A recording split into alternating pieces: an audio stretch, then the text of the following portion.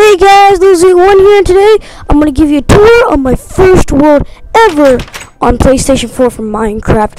So here we are. This is a little view from my house. then right here we have my little closet area. I'm gonna build some stuff over there, and then we come up here. Uh, I don't know why. Uh, we come up here. You're gonna see my chest, my furnaces, my my enchanting table, my bed, my clocks, and then we get out of there. We get out of there. I'm gonna let my guy get out of here. Alright, so then right here we have my nether portal.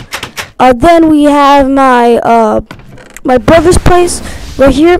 Then if we come over here, there'll be the first uh, my first thing I ever built in Minecraft place. See, it's I know it's blown up, but anyways, I hope you guys enjoyed this video, and I'll see you guys later.